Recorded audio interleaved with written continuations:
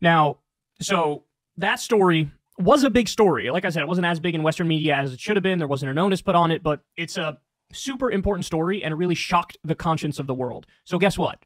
The IDF felt compelled to, I guess, do some sort of uh, after the fact um, clean up propaganda. And so now they come out and say, it's unbelievable. IDF says it found concealed weapons within the baby ward of Kamal al Adwan Hospital in northern Gaza, specifically in the incubators meant for the care of premature infants. So, in other words, oh, did we kill some premature babies? Oh, well, I guess you gotta blame Hamas because they were hiding weapons in the incubators. That's what this is. I've never seen a government be this bad at propaganda. I'm sorry, but the Israeli government makes the US government look like Michael Jordan when it comes to propaganda.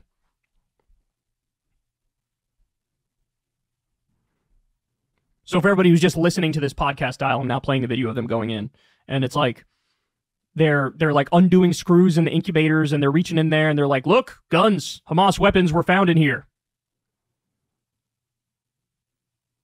Now, look, I'll ask you: Does this make does this pass the smell test? Like, if you're in Hamas, you're going to want to have guns readily accessible. You're not going to want to have them where you need to break out a screwdriver or a wrench and undo an incubator and take out the gun, which is then also in a plastic bag on top of that. That makes absolutely no sense. This is the worst propaganda I've ever seen. And you know what scares me? It scares me that there's some people who will see this and just totally swallow it hook, line, and sinker and think it's real. Like that is a level of dense or a level of bias I cannot comprehend. You're a stage five dumbass.